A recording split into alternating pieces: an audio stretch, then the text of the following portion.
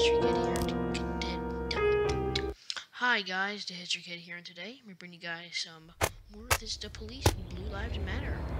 So we're on day three, July 17th. Uh, Francis Kendrick announced a retirement date. We already read. Here we go. Sorry guys about the two-hour video. I forgot. Uh, I forgot to press stop recording. Some pipes in my house busted and I need to wait for the plumber. Can I take a day off? Yes, yes. Come back tomorrow. Okay, let's start the day.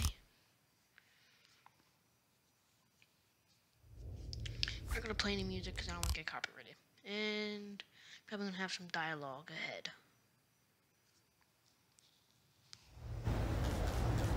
Oh, guess 11 in progress. So we have vandalism on St. John's Cathedral. So in Van Dahl and Grant.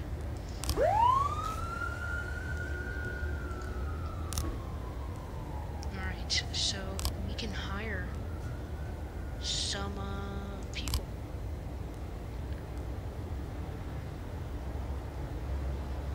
Need it for shift A. And this guy can go to shift B. Okay, everyone close. See if there's any more uh, things coming. 211 in progress. Vandalism, Atticus Tower. Businessman Harley Jones looking out his window. Teenager, teenager scratching offensive slurs at his new car. Well, it doesn't seem that serious, so I'm going to send two police officers. You know? Three. Just have at it, and then we'll spend the most experienced cop with the less experienced cop to get his experience up. Let's see how the call at St. John's is gonna go. As you can see, our police are en route. 211 complete. Alright, let's read the report. It's caught. Nice. So now up. Okay, suspicious individual. We just named Mila. Reports that she just served a chicken Eddie and a Coke to a dangerous criminal she's seen on television just this morning. Well, this might be serious. Want to Burke Jr. Stovall. 211. And he had that vandalism report go at Atticus Tower. And he got caught. Nice. So we haven't had any hostage situations yet. So hopefully you can stay that way because I do not want to lose a police officer. That would be terrible. Very suspicious individual, girl. False alarm. Mr. Boyd, my bad just stuffed himself in Mexico. No, I think he's part of the mafia. That's not gonna happen. so, we have 2,000.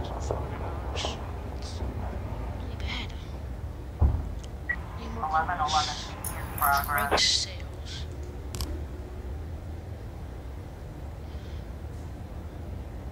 Hmm. Send you, I'm gonna send Grant, okay?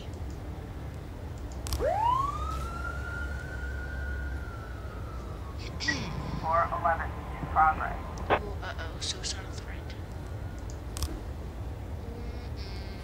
you want to send missionary cop? Because you know you can go alone.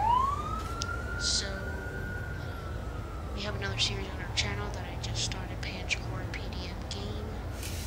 Get it two times. So, that's going to end the day. Officer on scene.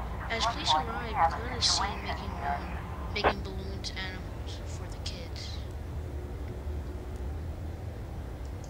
Tend to be a customer. Oh, he escaped.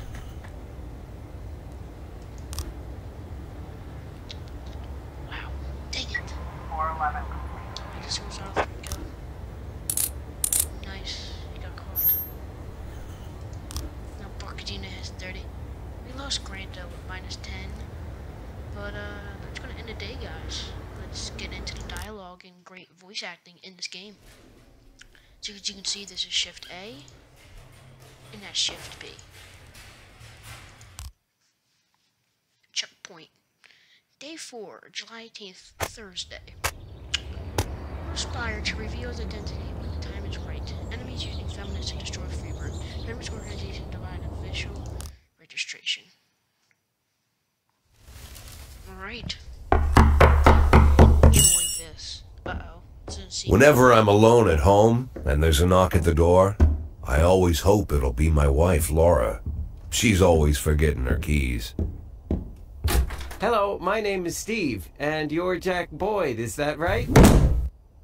To get to my front door, the Bible boys walked about a mile from the local bus stop, jumping over mud puddles and skirting a couple of landfills. Laura doesn't go in for religion either, but according to her, these brave lunatics with their fake smiles deserve at least a minute of attention. She patiently listens to them, asks them questions, regales them with pastries, and never once dropping a hint of condescension. When I watch her do it, I've got to admit it gets me. I'd have hugged those boys, sat with them on the porch, and lit up a cigar. But a month after Laura left, all I could do was quietly ask them not to bother me. Today I'm a little rougher still. Shut the door on his nose this time. Another couple weeks at this rate, and I'll be greeting anyone who comes close with my service pistol pointed towards the sky, ready to fire my warning shots. He loses his mind. In my life, even the basic stuff never goes like it's supposed to. Normally, when a wife is going to leave home, she'll make a scene or at least sit everyone down for a serious conversation. But Laura just disappeared. The children in the stories always stand on the side of the mother, but all three of our sons supported me. The in-laws always blame the husband for making their daughter unhappy. But now Sally, Laura's mother, well, we sort of have a pact. The fellow Laura ran off with is young enough to be her son. I hear he's 30 years old. Of all the possible information a man can know about his wife's lover, I get hit with that. Fortunately, Laura's mother doesn't like the way it sounds either. Sally figures this guy just thought he'd have some fun with a mature woman, but he'll be back chasing college girls before the year is out. So we have an agreement. Sally's gonna track down Laura and try to reason with her, and we'll arrange a meeting. Meanwhile, I'm supposed to not do anything stupid, which of course means anything at all. It's a crazy situation. I'm the police chief, and the person I'm trusting to find my wife is an old woman armed with a phone book. But I can't afford to lose Sally as an ally. So for the moment, I had to swallow my pride.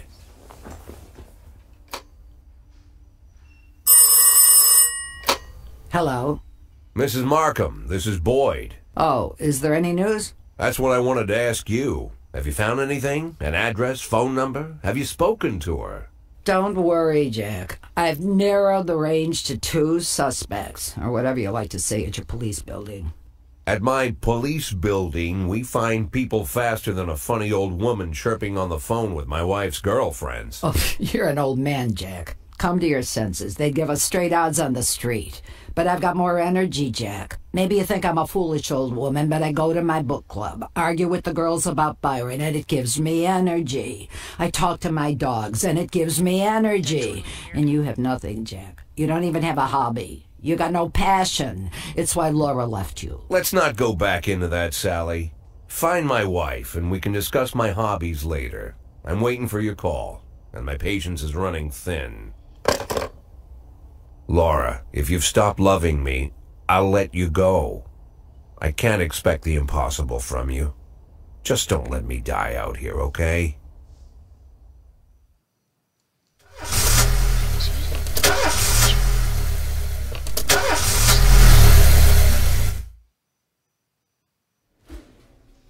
I'm too tired. I can handle study. Can I go home?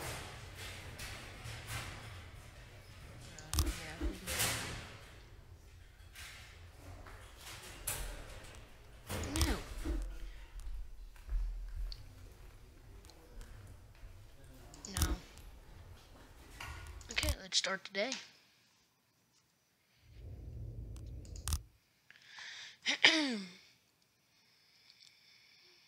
that was a very great story, acting.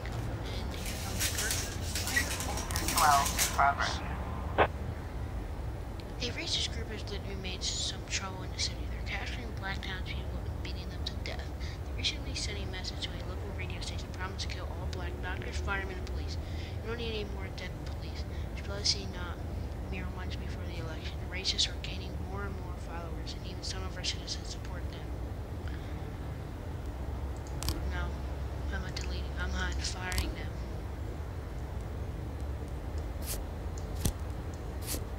Send Austin. Homicide.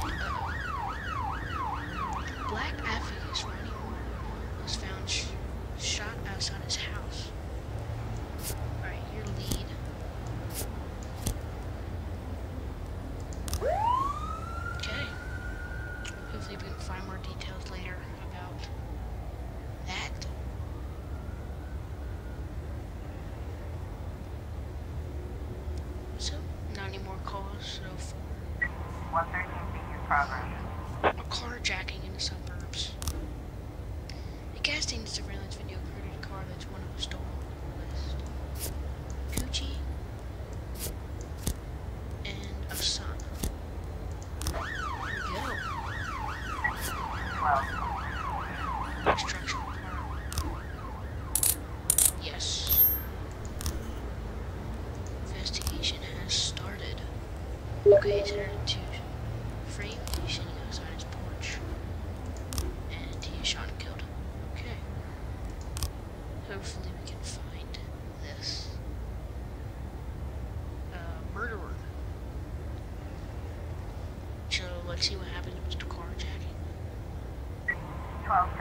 spacious and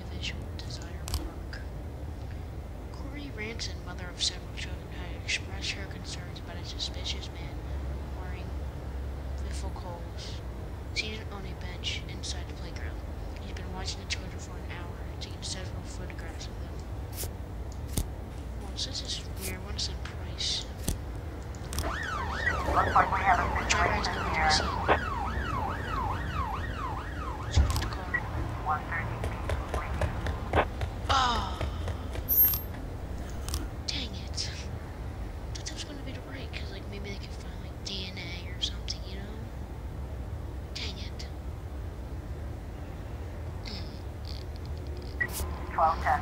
Suspicious.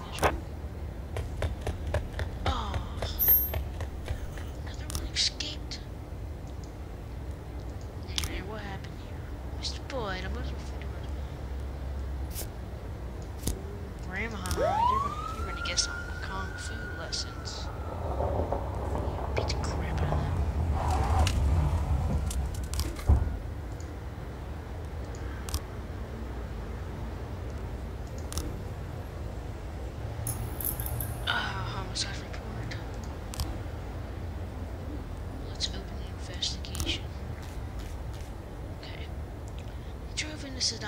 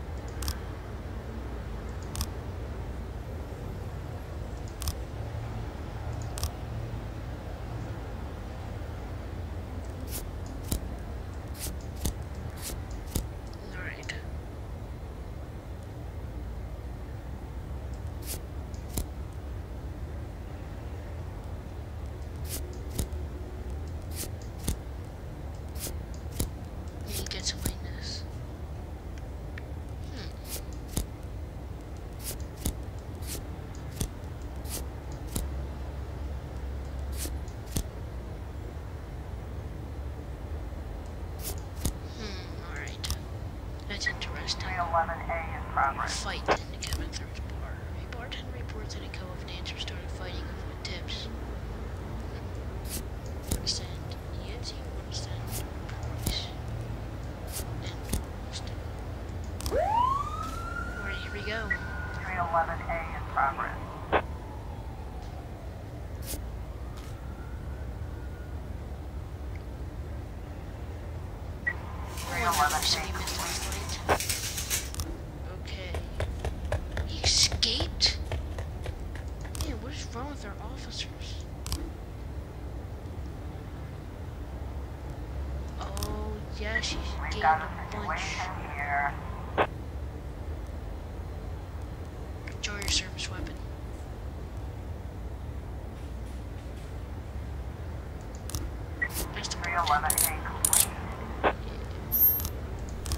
Alright, so we missed that fight call, guys, but that's going to end the day. And that's it for shift. And day five, July. Okay, retired police officer Thomas Blaine shoots woman Major Rogers. City has no problems with the races. I thought she was a suicide bomber, but that's going to be it for this episode, guys. Thank you guys so much for watching, and I'll be seeing you guys tomorrow.